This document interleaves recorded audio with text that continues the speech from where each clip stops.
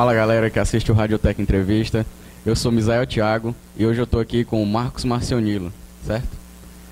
Então, é, para te apresentar um pouco melhor para a galera que está te assistindo e não te conhece, queria que você falasse um pouco é, o que você fez até agora, resumidamente, em que você trabalha.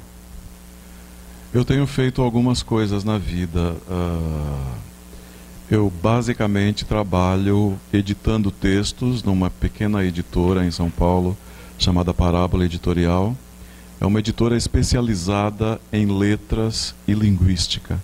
A gente publica então pesquisadores do Brasil e do mundo que tratem temas que me pareçam do interesse dos estudantes brasileiros na área de letras, na área de pedagogia, na área de linguística. E eu trabalho com isso já há bastante tempo.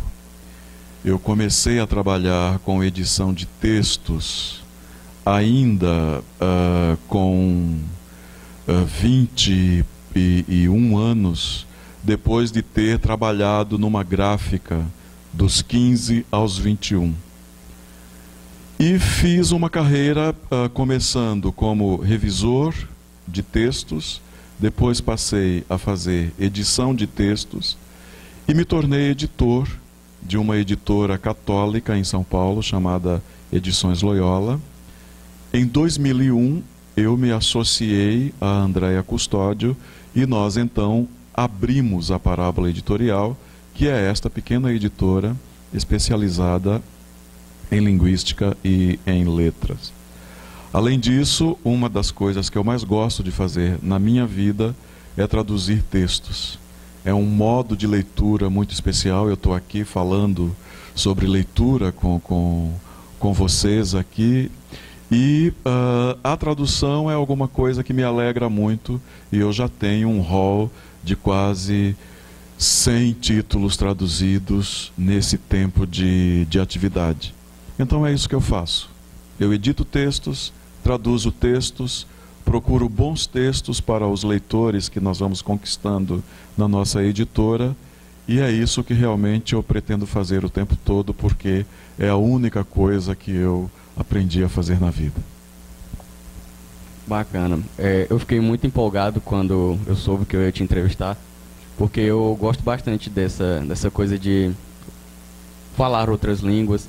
Não que eu, que eu fale, só que a linguagem em si eu acho uma coisa muito bacana. E na hora eu despertei a curiosidade de saber uma coisa. O que te levou a se tornar tradutor? É pensar, não, eu quero fazer isso. Alguém Come... te incentivou, assim? Começou de um modo muito engraçado essa coisa de, de traduzir. Começou por acidente na verdade. Começou por um erro que eu fiz enquanto trabalhava como editor de textos nas edições Loyola. Eu cometi um erro do qual eu já não me recordo.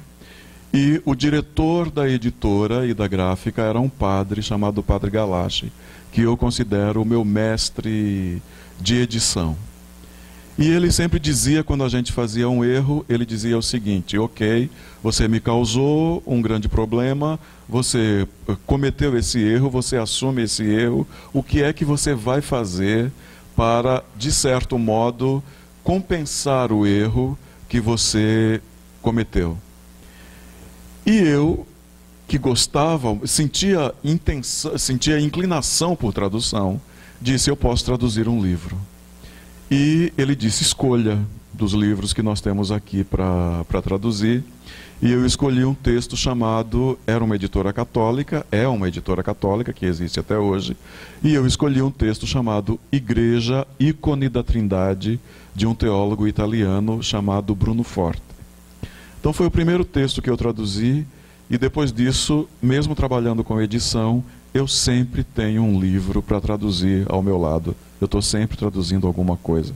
Eu costumo dizer que eu sou um dublê de, de tradutor. Eu não sou tradutor propriamente.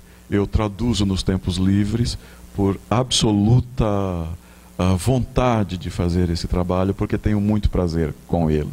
E assim eu comecei e já tenho aí uma, uma lista meio grande de textos traduzidos para as mais diversas editoras no Brasil. É muito interessante isso, porque dá pra ver na sua resposta que você realmente é apaixonado pelo que faz. Isso acho que é muito importante para você fazer um trabalho cada vez mais bem feito. E uma outra curiosidade, de pesquisando sobre você, né, eu vi que você fala algumas línguas. Trabalha com algumas línguas. Eu queria saber de todas que você já trabalha, trabalhou até hoje. Tem alguma que você ainda pretende aprender? Eu morro de vergonha de ainda não poder, ao menos, ler uh, em alemão. Eu gostaria muito de poder ler em alemão, porque é uma língua, é uma cultura que detém um acervo imenso de conhecimento.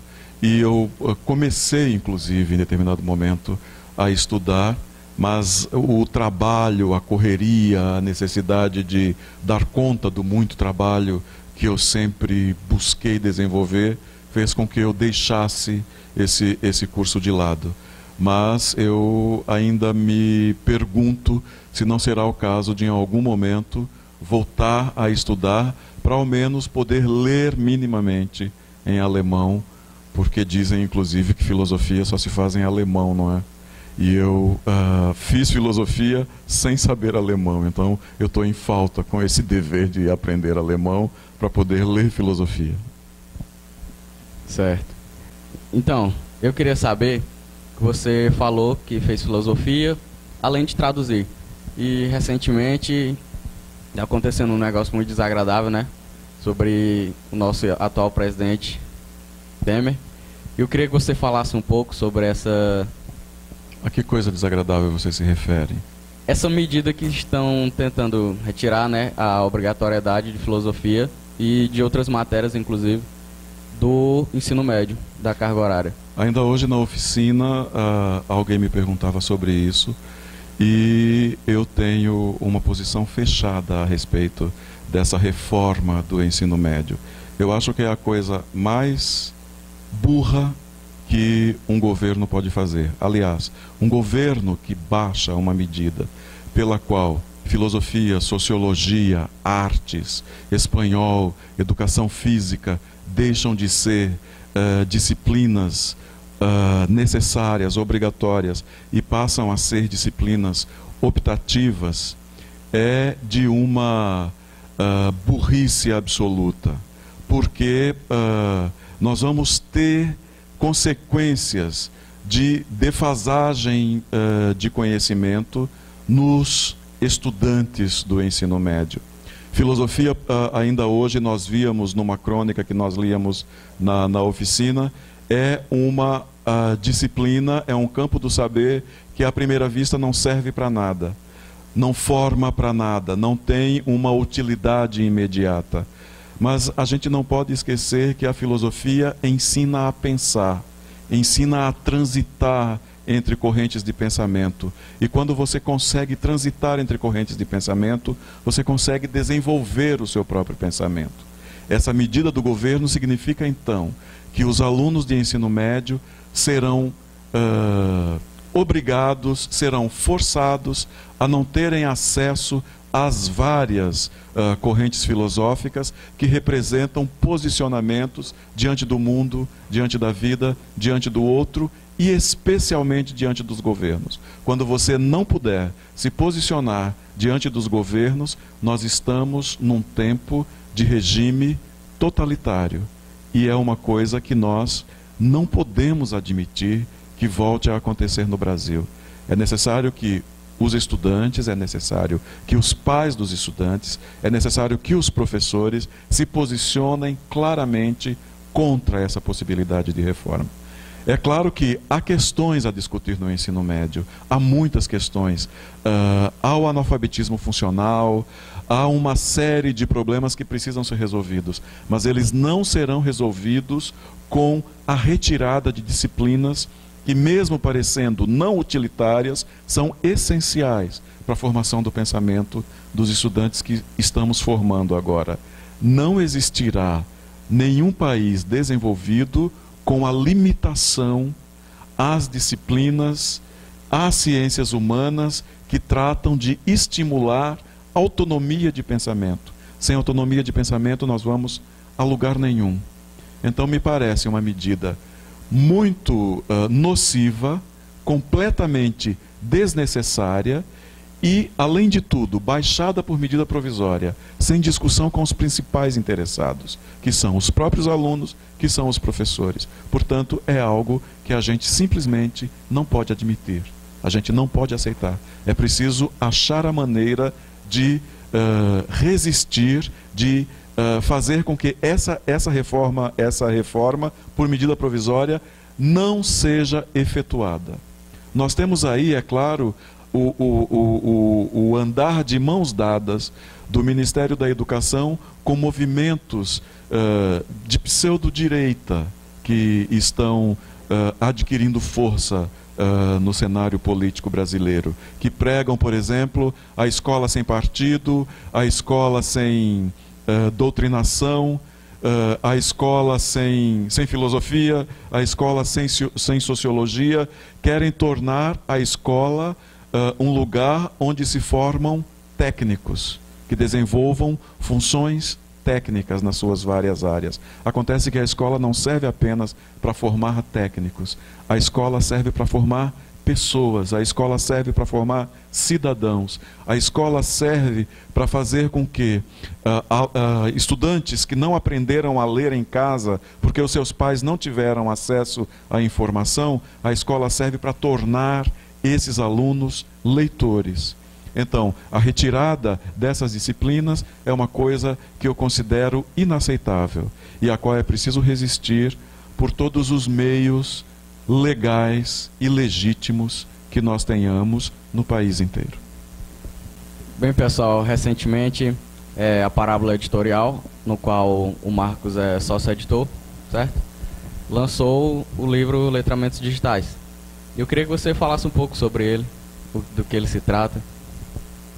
Este é um livro que me alegrou muito uh, poder publicar e, por acaso, eu também traduzi esse, esse livro, porque nós somos uma editora pequena e se nós formos uh, embutir todos os custos de produção no preço de capa de um livro traduzido, nós vamos ter um livro absolutamente inacessível à maioria dos estudantes de letras e de pedagogia que são estudantes que nós sabemos uh, não estão uh, entre aqueles que podem mais gastar uh, na aquisição de livros. O público de letras e de pedagogia é claramente um público de capacidade de aquisição menor do que públicos de direito ou público de medicina, etc. Então, nós tentamos fazer o, os livros sempre ao melhor preço de capa, ao melhor preço de venda que a gente consiga fazer. Então, como nós tivemos uh, um problema entre a contratação e a publicação, que foi exatamente a crise econômica brasileira que levou o dólar às alturas, então os custos de um livro uh, comprado um livro estrangeiro comprado para ser publicado no Brasil explodem no momento em que o real se desvaloriza muito diante do dólar. Então eu juntei aí a necessidade econômica com a minha vontade de participar da criação do, dos letramentos digitais. Uh, e é um livro escrito por três autores: uh, Mark Pegram, Nick Hockley e Gavin Dildine. E uh, me interessou muito publicar esse livro, porque eles fazem uma uh, abordagem muito equilibrada entre a teoria dos letramentos digitais, o desafio que os letramentos digitais significam para a escola brasileira, tanto para o professor como para os alunos, e esses desafios se dão a partir do momento que você constata uh, se a escola é uma escola de alta tecnologia, como é esta aqui, como é o, o, o Colégio Técnico de, de Floriano. Se a escola é de média tecnologia, por escola de média tecnologia, os autores se referem a, a escolas nas quais os professores têm acesso à tecnologia, têm acesso a tablets, têm acesso a smartphones, têm acesso a, a, a computadores e os alunos não. Então, é uma, escola que se chama de, de baixa tecnologia e eles também pensam nas escolas de zero tecnologia, que são as escolas nas quais tanto professores como, como alunos têm acesso reduzido à tecnologia. Pensando nesse cenário que se distribui então entre uh, escolas com, com, com, com poder aquisitivo para fazer laboratórios de informática e escolas que não têm, eles propõem atividades que podem ser aplicadas em três níveis de acesso tecnológico. Isso me interessou muito. O outro fator que me fez decidir pelo livro é que ele de todas as questões que a gente ouve uh, professores uh, fazerem. Uh, perguntas do tipo: eu posso permitir que os meus alunos façam pesquisas no Google? façam pesquisas na Wikipédia. Eu posso permitir que eles simplesmente, nos seus trabalhos de pesquisa, copiem e colem. Como é que fica diante disso a questão dos direitos autorais? Como é que funciona a questão dos direitos autorais na internet? Uh, como é que eu posso uh, proteger os meus alunos, adolescentes ou uh, jovens ainda? Como é que eu posso proteger dos submundos que há na internet, porque nós sabemos que quando você abre o seu computador, quando você abre o seu tablet, você acaba indo por regiões as mais diversas. E às vezes isso se choca com necess o necessário cuidado com a formação de adolescentes, por exemplo. Há a questão de assédio sexual, há a questão de bullying uh, por internet, há muitas questões que é necessário tematizar e há muitos problemas que é necessário enfrentar quando você trata de circular pela internet.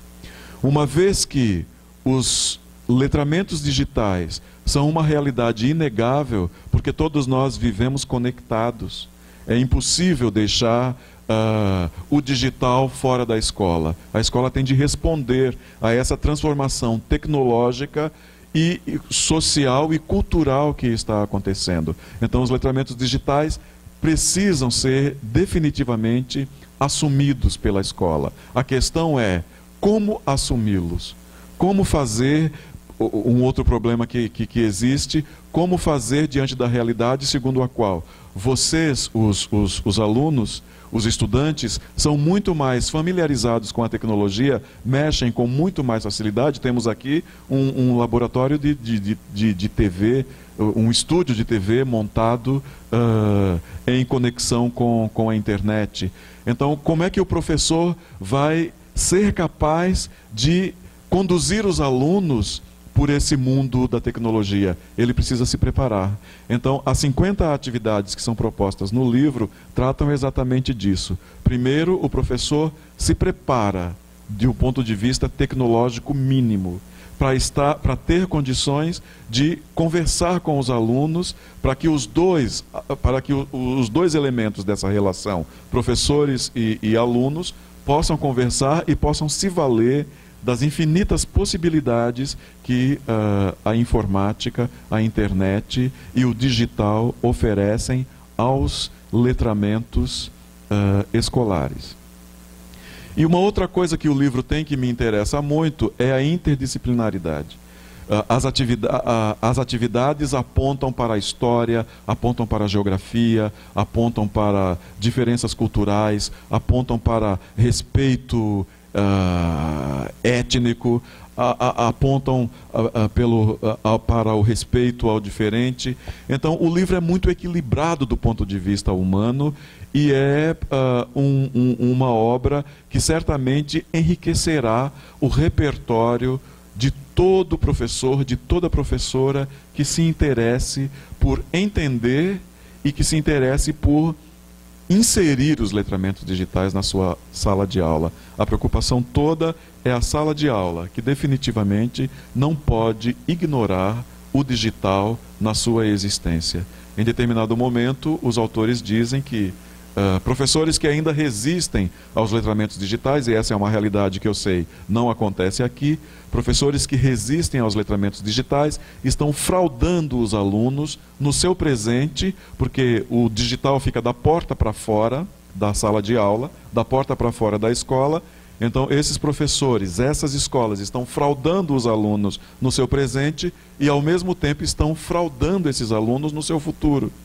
Porque quando você usa o digital para aprender, e o, o digital sai dessa coisa do pessoal apenas e passa a integrar muito mais a vida dos estudantes como um todo. Então há um, um enriquecimento uh, de todos os participantes dessa equação quando os letramentos digitais são plenamente desenvolvidos. E há já no Brasil uh, muitos grupos nas universidades estudando letramentos digitais, há uma produção imensa uh, sobre letramentos digitais, e esse livro não vem trazer nenhuma novidade para esses pesquisadores, mas ele traz uma organização de tudo o que existe uh, do ponto de vista teórico, de todos os problemas que o digital levanta e ainda oferece 50 atividades que, como diz o, o Ribas, farão com que muita gente possa uh, criar nas suas salas de aula e sair, enfim, da paralisia na qual muitos professores se encontram diante da urgência de sermos mais digitais. Eu brinco dizendo que letramentos digitais do Gavin Dildine, da Nick Hockley e do Mark Pegram será durante um pouco tempo, porque essa é uma área que muda muito a Bíblia dos letramentos digitais no Brasil. É uma brincadeira que eu faço com esse livro que acabamos de publicar interessante. Para você que se interessou pelo livro, nós vamos deixar aqui na descrição para você dar uma olhadinha lá no site é, e saber mais sobre o livro, porque eu achei muito interessante. Então, agora eu não queria te fazer bem uma pergunta, né? Para finalizar, é, dada toda a sua carreira, anos e anos trabalhando com tradução, é, aqui foi uma entrevista para o pessoal te conhecer um pouco melhor. Claro, não deu para falar tudo sobre a sua vida, mas assim de uma forma geral, eu queria que você deixasse uma mensagem para os alunos do ensino médio, tanto os alunos que você deu oficina, quanto todos que estão te assistindo, você aí que gostou da entrevista, é, uma mensagem motivacional é, para esse pessoal que pensa em seguir essa carreira de tradutor ou qualquer outra, assim. Eu comecei a oficina hoje dizendo que não conhecia os alunos uh, do Colégio Técnico de Floriano pessoalmente, mas já os conhecia de ouvir falar desde 2013, foi quando eu conheci o professor Ribamar e quando começamos a falar do laboratório que, que é mantido aqui por todos vocês, sob a coordenação do do professor Ribamar. E eu dizia que essa é, esta é uma ilha de excelência uh, que vocês têm aqui. Porque na oficina, uh, muitas vezes, são feitas oficinas aqui de produção, uh, justamente de produção através de letramentos digitais, e eu vim fazer uma oficina de leitura. Eu não vim tratar do digital, eu vim tratar de texto puro e simples, com os alunos do primeiro ano da agropecuária e da informática. E fiquei muito surpreso com uh, a capacidade de produção dos alunos, porque eles foram desafiados por mim, até um pouco involuntariamente. Eu trouxe alguns textos e uh, distribuir esses textos entre os alunos, textos diferentes, de diferentes gêneros, de diferentes épocas, e eles tiveram pouco tempo para ler esses textos e para depois dizerem que voz eles ouviam nos textos lidos. E o resultado me deixou muito satisfeito, porque a riqueza de leitura que a gente viu é uma riqueza que a gente encontra uh, muito pouco na maioria das vezes, quando ela deveria ser a regra em todas as escolas de ensino médio. Então, ao ouvir falar de leitura, eu me dei conta de que não se pode tirar dos alunos o direito a esses exercícios de uh, ler, de falar, de se envolverem em atividades. Então, uh, o trabalho que é feito aqui é um trabalho que precisa ser defendido muitas vezes, eu sei disso, mas ele deve ser defendido diante da riqueza que eu vejo, por exemplo, na possibilidade de estarmos tendo essa conversa aqui, nós dois. questões absolutamente fundamentadas, feitas com pesquisa. Então, há um trabalho a ser feito com todos os, os, os alunos uh, do colégio que passam uh, por aqui, mas esse trabalho precisa ser conhecido por aí. Falem do que vocês fazem aqui, porque essa é uma experiência que precisa ser conhecida e precisa ser replicada em outras escolas. O Ribamar hoje me dizia assim: Você acha que dá trabalho fazer essas coisas? Eu disse: Dá. Não dá para dizer que não dá. E é trabalho para todo mundo. Não é trabalho apenas para o coordenador. É trabalho para todo mundo. Mas é um trabalho que traz como resultado justamente autonomia de pensamento. Então eu espero que vocês avancem nesse, nesse caminho. Avancem por aí, porque existem muitas possibilidades a ser exploradas por meio de todos os projetos para o ensino médio que aqui são gestados. Então, uh, essa seria uma primeira coisa. E você falou a respeito de pessoas que queiram seguir esse trabalho de produção de textos profissionalmente no campo da edição. Esse é um campo cheio de desafios. Nós temos uh, a questão de que se lê muito pouco no Brasil, nós temos a questão de que uh, as pessoas acreditam muito uh, na cultura da cópia e da reprodução ilegal digitalmente. Então, nós temos muitos problemas na área de edição, mas ela é uma área fundamental que precisa de excelentes profissionais. E aí eu volto à pergunta sobre a reforma do ensino médio. Sem liberdade de pensamento, sem filosofia no currículo, sem sociologia no currículo, nós não teremos pessoas com pensamento autônomo.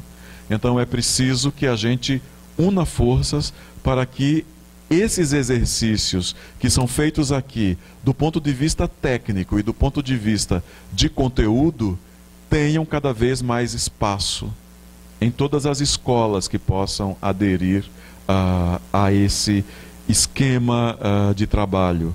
Porque esse esquema de trabalho representa tudo o que atualmente se quer tirar das escolas contato com o conhecimento, produção de conhecimento e liberdade de atuação. Então, essas são conquistas que eu espero que vocês defendam com todas as forças e que possam então inspirar outras escolas a fazerem essa, esse, esse mesmo caminho quando se aprende o tempo todo de todos os modos. Então, eu espero que não haja desistência nesse, nesse caminho. E agradeço muito a possibilidade desse papo. Eu que agradeço. É, foi uma entrevista muito bacana. Gostei muito de te conhecer melhor. Espera aí, não fecha o vídeo ainda. Deixa o like se você gostou. Se você se interessou pelo livro, eu vou lembrar de novo, vai estar na descrição. É, além de todas as redes sociais, para você dar uma curtida lá, fanpage no Facebook. Comenta aí o que você achou da entrevista. E outra coisa, não esquece de compartilhar esse vídeo com seus professores, é, seu amigo, é, passa a ideia dele da rádio, vê se você consegue tentar fazer isso na sua, no seu colégio, né? E é isso aí, compartilha o vídeo. Falou!